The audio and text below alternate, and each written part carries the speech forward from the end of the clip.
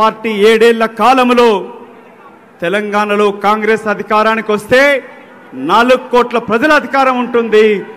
కానీ కల్వకుంట్ల కుటుంబంలో నలుగురికే అధికారం ఉన్నది. తెలంగాణ ప్రజలని తెలంగాణ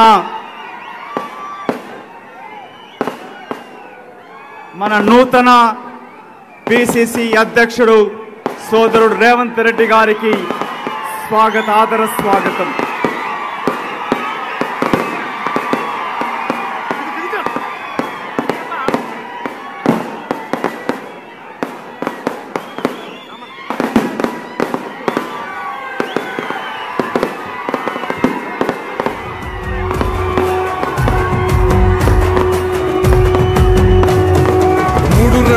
జెండా బట్టి సింగమోలే